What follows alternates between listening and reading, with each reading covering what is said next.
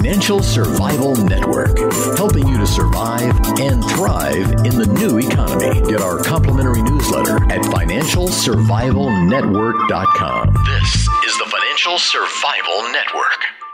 These are tough times and they're getting even tougher. The clock is ticking.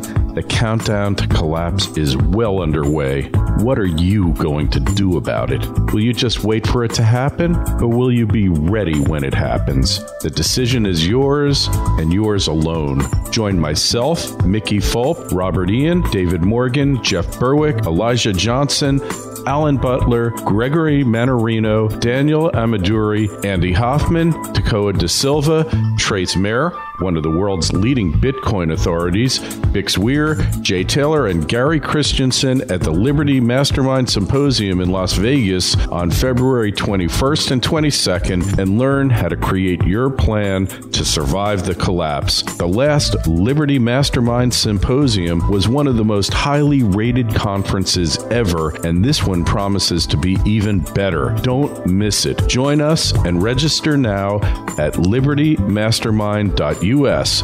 LibertyMastermind.us. This one is going to be out of this world, and it's going to be even better because it's in Las Vegas, Nevada. Go to Liberty US and sign up today. You are listening to the Financial Survival Network.com. I'm Kerry Lutz on 1230 WBZT. Well, you don't hear from him much on the media. He isn't interviewed that much but you should hear from him. His name is Ned Schmidt, uncanny forecaster, especially when it comes to gold and silver and the commodities. Been writing the Value View report for many, many years, dealing with gold and commodities. Ned, welcome back to the Financial Survival Network. Hi, it's great to be here. How are you today? Hey, well, always good to talk to you. You know that. And hey, we've had this bear market in the precious metals for the past couple of years. Certainly, the uh, Chinese, the Asians have not been dissuaded by it, have they? No, no. The, the Chinese are, are continue to be big buyers, and it they've been buying. They're buying now, and they bought last month uh, in anticipation of their New Year, which comes in the January.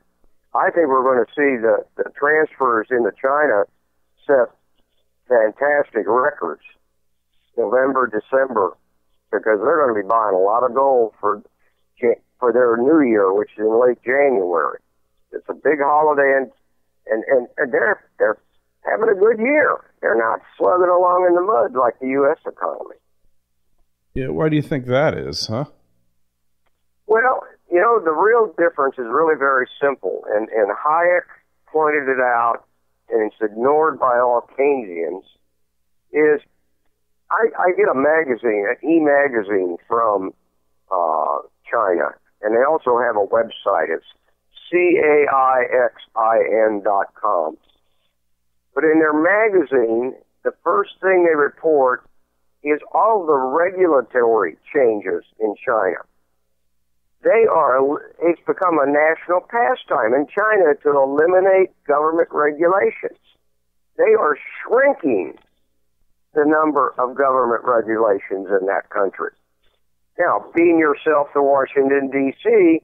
and Mr. Uh, bureaucracy in the White House, I mean they can't print the Federal Register fast enough to include all the regulatory changes.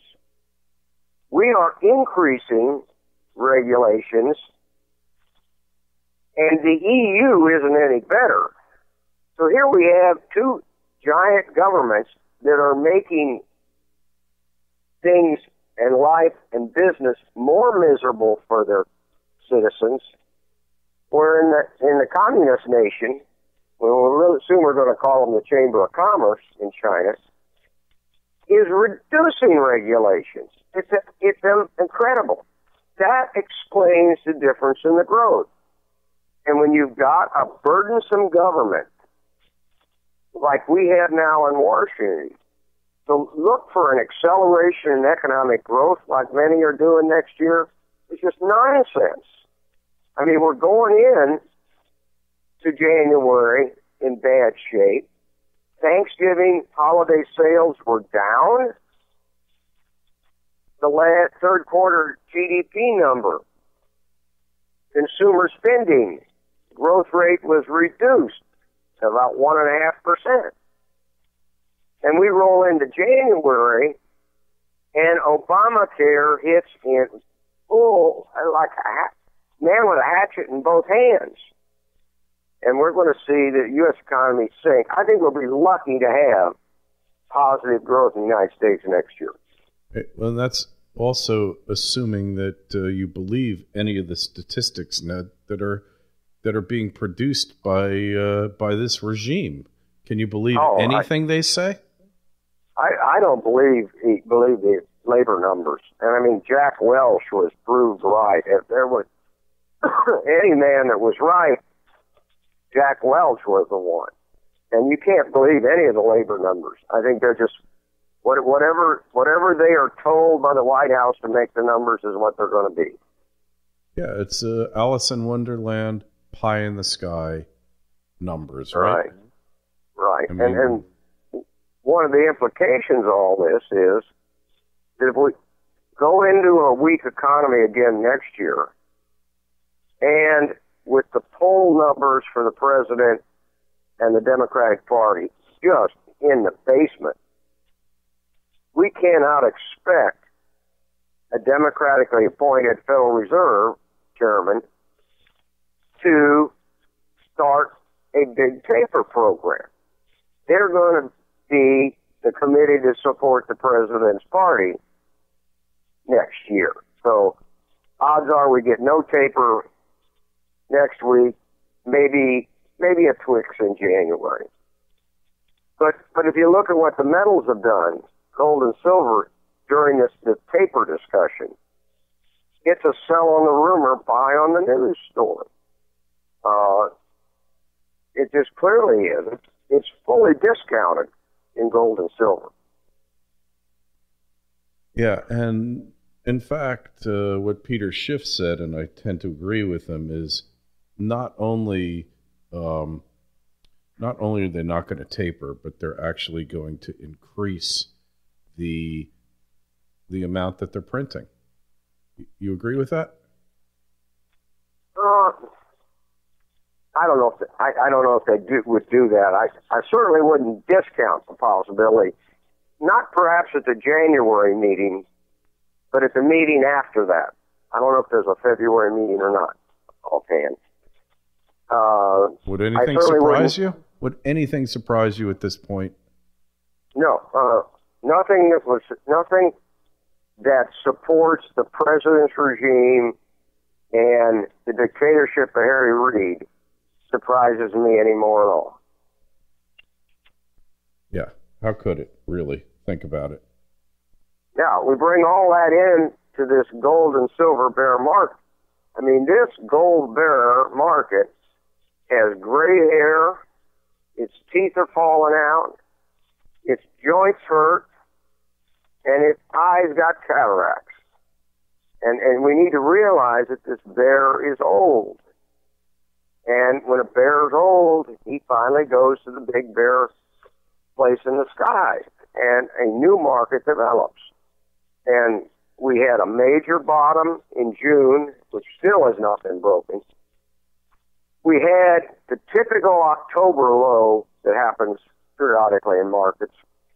That's the month that the funds book their losses to offset gains that they're going to pass out to investors. So we had a low in October, which is not unusual in, say, mutual funds that have had a bad year. Now, we've had this second sell off through last week that hit 1218.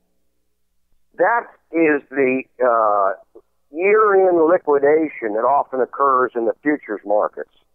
If you look at what happens in thanks uh, the week before Thanksgiving to about the week or two after, uh, the institutions start winding down positions. Uh, I mean, nobody in Wall Street works after Friday till the first of the new year. God forbid. And so, yeah, I mean, they they sort of close their position. You've seen a about a sixty thousand contract shrinkage in their net, net long position. So that low of last week, 1218, was probably the final test of the June low. So if you're sitting around waiting for 1060 because of some technician's charts, you're going to miss the train. You know, you might as well turn your ticket in now and, and just stay home because the game is going to start again. And that base is is from end of June through last week. That's over five month long base. That's a long base. Now it's not. It wouldn't be. It would be conceivable that a base could take eight months or more. But I mean, this one's been so brutal this year. I don't think it's going to. I think we've seen the lows. Uh, we've seen the test of the lows, and we can look forward to everything the U.S. government's going to do to make the dollar worthless and and gold more valuable. Yeah, it makes total sense, huh? Right, and it's interesting on the gold stocks that that the internals on the gold stocks are really looking better. They're not.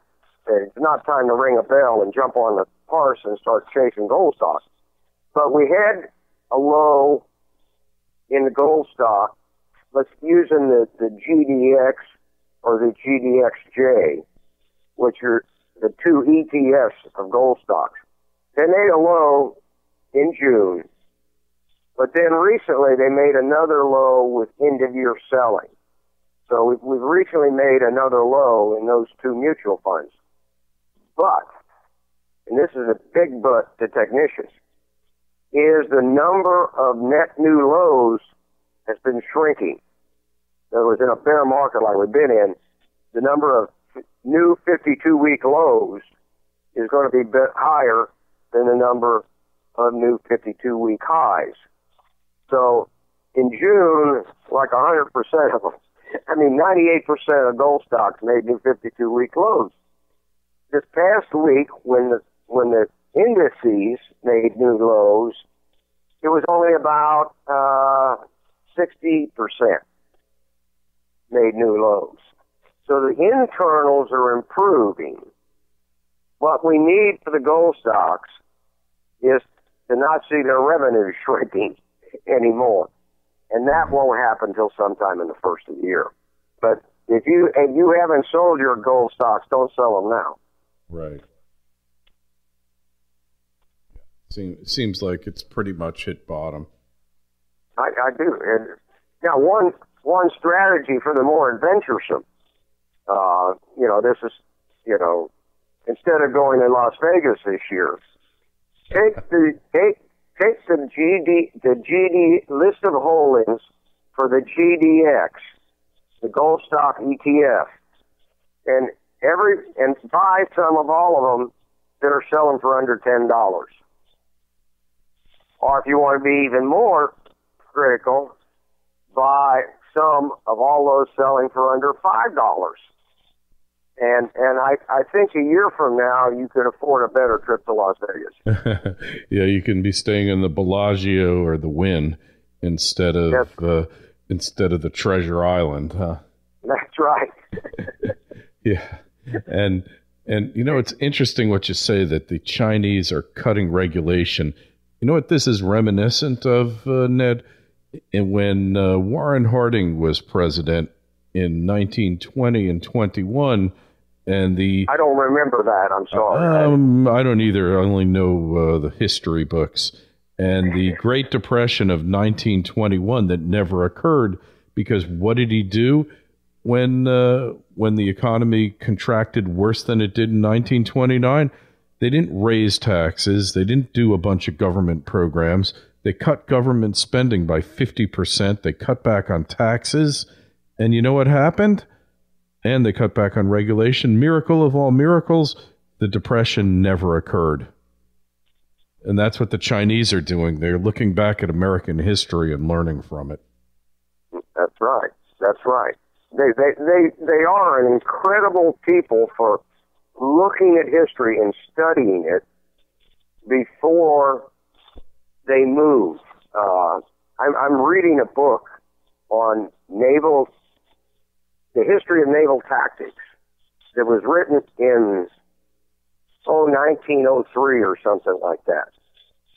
This was the book that the Chinese Navy leaders read 10 years ago to plan their expansion of their Navy. That's, that's how thorough they are. Amazing. And uh, it, it, you know, we're not going to learn. We haven't learned the lesson yet. We're going to have to relearn it. I'm afraid. Yep. I just find that incredible that they're decreasing regulation, which is what the United States should be doing. And we're going to. They have they have opened a new free trade zone in China. Is it in Shenzhen or Shanghai or whatever? Traditionally, the Chinese government puts out a list of positive things foreign entities may do A, B, C, D. When they opened this new free, free trade zone, they instead issued a negative list, a list of things that foreign corporations cannot do. You can do everything else. Mm-hmm. Now, the biggest complaint has been not from from the foreign companies, but from the Chinese, that the negative list is too long. so they're going to cut it in half. Huh. They're going, you know, we we are still in the mentality in the United States where we have a positive list. You can do that or this or that. Chinese attitude now is shifting. There are a few things we don't want you to do, but you can do everything else. And that's a that's a clear different mindset. I think that's what they call free enterprise. Yeah, kind of like the uh, Constitution being a limit on what the uh, government, you know, a constraint on government power. but the, that that thing doesn't apply to our current regime. No, no, it was, they're it was exempt. It was it was repealed upon Obama's inauguration. I think you're right about that, and we're going to talk more about what's coming up uh, for commodities the economy, and Obamacare up next on the Financial Survival Network on 1230 WBZT.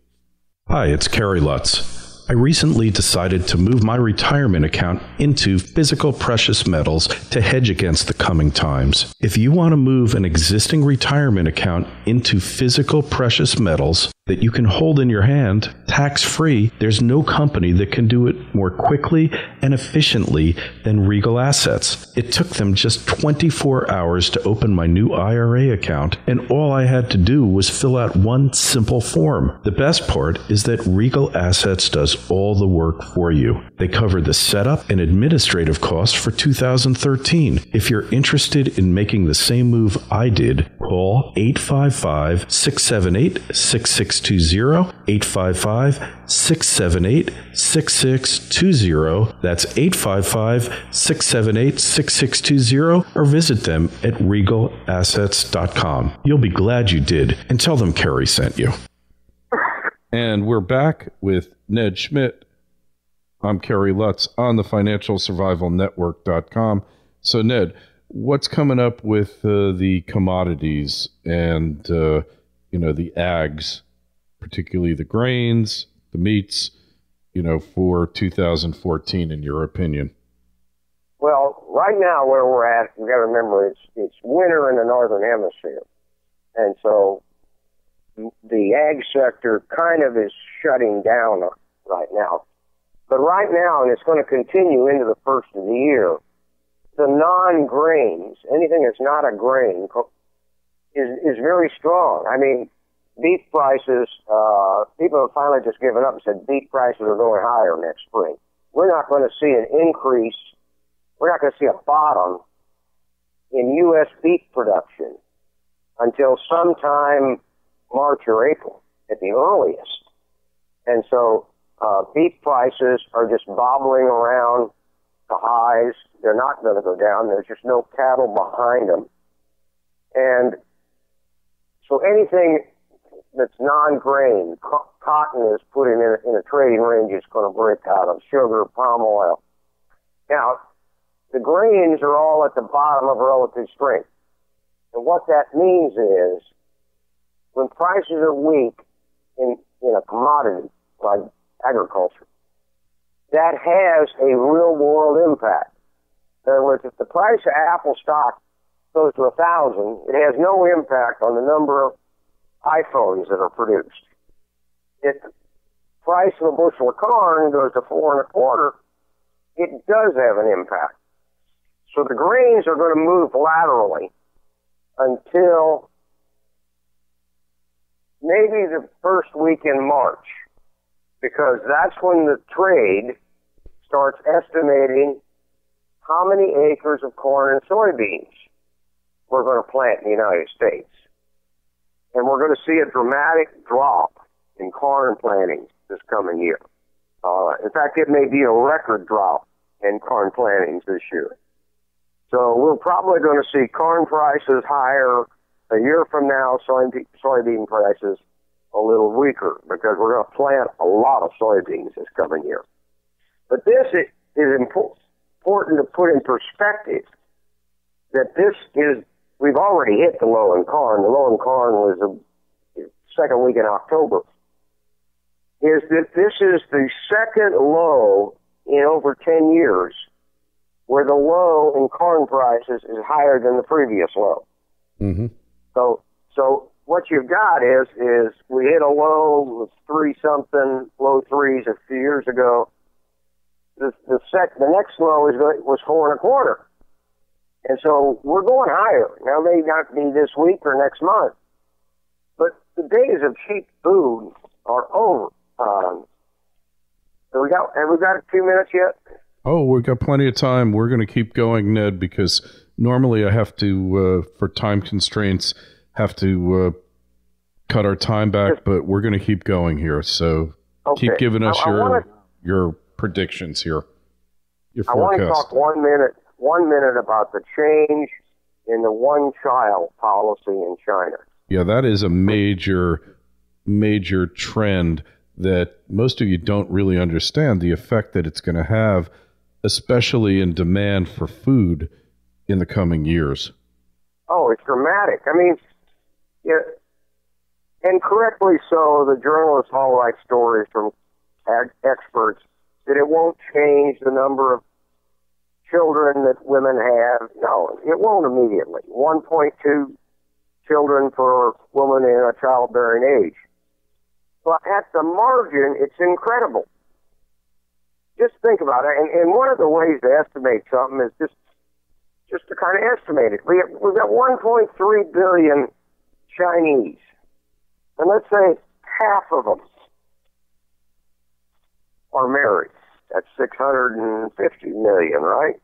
Half of them, if half of them were in childbearing age, that's 325 million women that could have babies. And let's just say a quarter of them have babies in the next years, two, three. That is what? 80, 80 million babies being born. That's a lot of Pampers. That's two Canadas. Mm-hmm. Canada's population is 35 to 36 million people. That's two Canadas. And you know the funny thing about babies and people? they eat every day the rest of their lives. And and the impact of the world creating two Canadas that can afford to eat, that's the difference. The Chinese population can afford to eat. And so I was just sitting here thinking, I never saw anybody, just an industry, just lock in the next 10 years. Uh, it, it, it's it's as good it's it's it's as good as housing was 20 years ago, the banking industry 10 years ago, uh, the internet was 20 some years ago. You know, it, it's an industry for the first. It's one of the few industries you look around that there is a lock on the future that cannot be avoided. The population's incomes are growing faster than the world's ability to grow food. And, and as long as m- more dollars are chasing food than as food is expanding, prices can only go up. And uh, uh, it's an industry that people just simply have, if they own equities, they simply have to be exposed to. And there's a shortage of uh, of producers out there. The uh, average farmer, what's the age of the average farmer in the U.S.? Fifty-seven, I think it is. Oh, I would think so. Yeah, yeah. Because I mean, the thing with farmers is they stay on the farm and they retire on the. You know, retirement to them is when the son comes and takes part of the work. you know, that's but they keep working. So you know, basically, a farmer retires when he falls over, and and and increasingly, the ownership of farms is shifting to women, and they tend to live longer than the husbands. So that you know, so it's interesting that the farming industry ownership of land is slowly shifting the women. And I think, I would think in the next 10 years, 10 years from now, the majority of American farmland will be owned by women. That's amazing. Did not know that. Didn't know that. So uh, there, there, there are two good sectors that investors have to be looking at. I mean, you've got to be looking at the precious metals right now. Uh, it's too early to start jumping on gold stocks, but uh, maybe in, the spring sometime when the snow's gone. Uh, and then clearly investors, if they own equities, they got to be taking a look at agriculture. It's just, and, and there's, there's so many things opening up. Uh, one of the, I, I put out some lists where I don't recommend the stocks. I just, informational, because I mean, some of them are like flipping coin. Uh, we've got one now, AquaBounty on, in London. It's in the last six months, it's done like added 500%. It has the first approved genetically modified salmon. And in November, they got approved to produce genetically modified salmon by Environmental Environment Canada. And that's one half of the approvals they need. With genetically modified organisms, you need two approvals, one to produce it and one to sell it. And, and so there one. No, go ahead. What's your feeling on the whole GMO debate? Is that legitimate? No, it's it's it's it's it, it, there are people that are going to be against any innovation, no matter what it is. And uh, didn't they call them Luddites one time? Yeah, we had a discussion about Luddites recently. They smashed the cotton mills in uh, yeah. England because they thought uh, the the cotton gin the cotton mills were going to put them out of work, and you saw how that worked out. Right. So, well, people need to remember that all of our food is genetically modified. The difference is historically we've done it the old-fashioned way by crossbreeding in the field. Field. And so the wheat we eat today is not the wheat the pharaohs ate. I assure you. so yeah, or the emperors. Of, yeah, instead of doing it over years, we accelerate it by doing it in in the laboratory.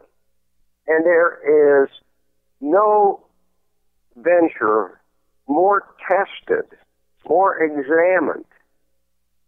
I mean, it's hard to get a drug through the FDA, but uh, you can't imagine what a, a genetically modified crop does, has to go through before it's approved. And I don't know what the Europeans are going to eat eventually. Uh, they, cake. They, They're going to eat cake. yeah, well, that's exactly it. You know, they're not going to produce any energy and they're not going to produce any food. They're just going to live. You know, I guess. I guess if you're a greenie, you start you producing chloroform. I don't. Not chloroform. Chlorophyll. chlorophyll. Right. Maybe they're on chloroform. I don't know.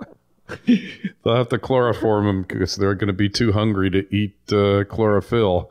you know, and, they used to have that gum. remember the chlorophyll gum? Yeah, that's what they'll eat. uh, and then we got these crazy labeling laws coming. Mm-hmm. Uh, where where the cow was born, where it was fed, and where it was slaughtered. Well, they'll have to have a pedigree for the cow, right? Well, Yeah, well, somebody's got to keep track of that. yeah. Well, look, the stuff not though going to they. trust. I will go for the labeling though for fast food because the stuff they were putting in the McDonald's hamburgers and other stuff. Like, let's find out what the heck is in there. All right. Well, this is now somebody has to keep track of that. You can't trust. You know, the guy says, "Where did that cow born and raised?" Oh, it was Texas. Mhm. You know, Well, you a know, there's- you know that uh, like Florida is like the third uh, biggest cow raising state in the country, but they don't.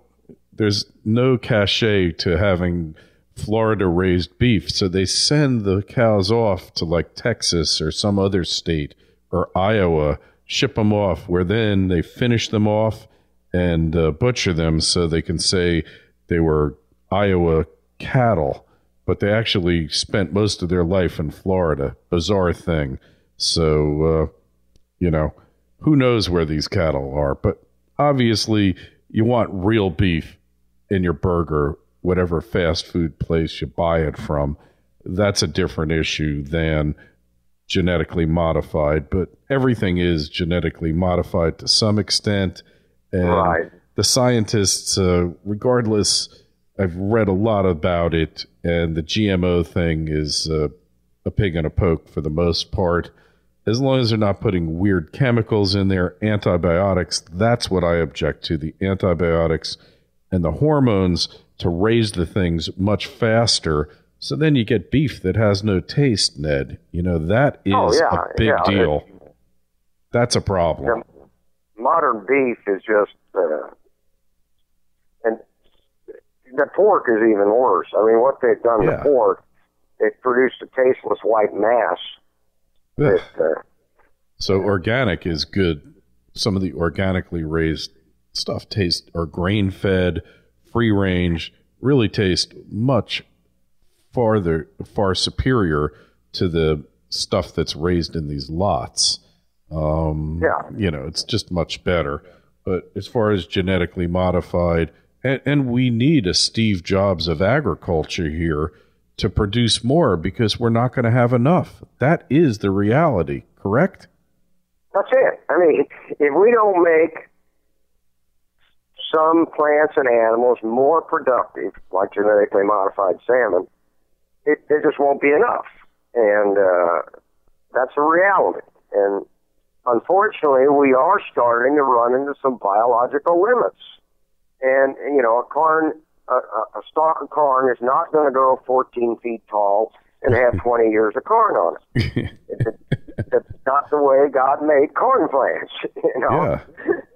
Yeah. And so, So we need to figure out higher density, higher yielding crops. And for the most part, yeah, there are little tricks you can do, uh, you know, to eliminate uh, pests and things like that.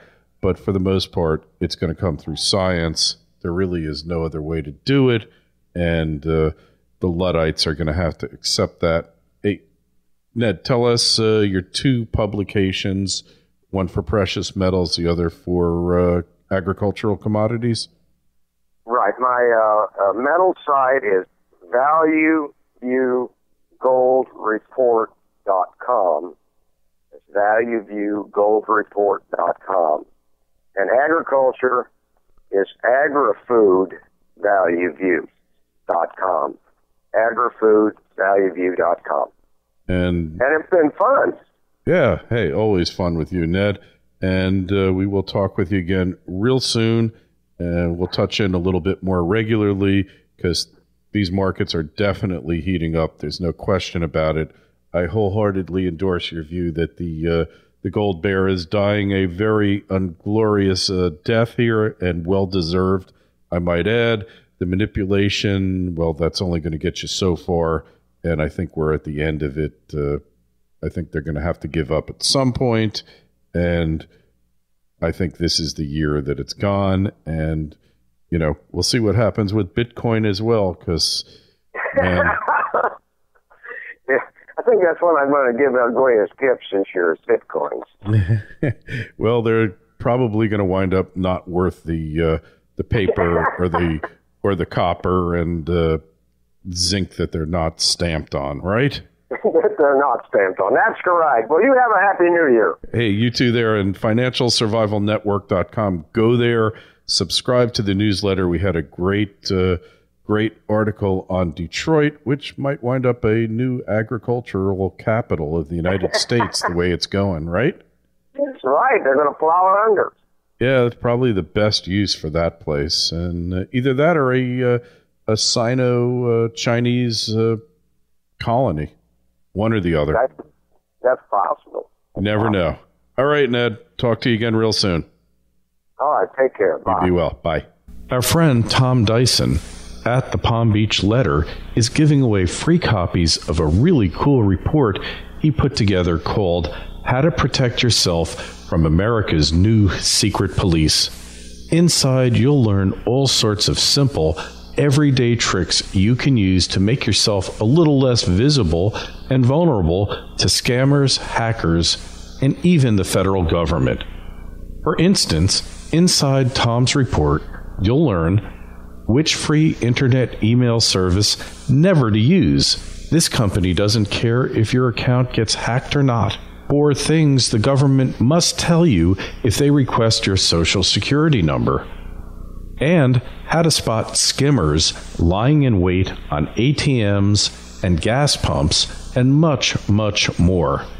These tricks and secrets are low hanging fruit ideas. You don't have to invest time or much money into them. Most are free. But by taking some basic measures, you can make your privacy much harder to invade than your neighbors. Tom's report is available for a limited time to listeners who take a trial subscription to his newsletter.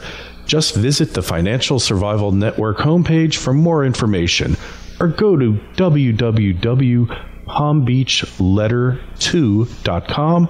That's www.palmbeachletter, the number 2.com. The Financial Survival Network, helping you to survive and thrive in the new economy. Get our complimentary newsletter at financialsurvivalnetwork.com. This is the Financial Survival Network.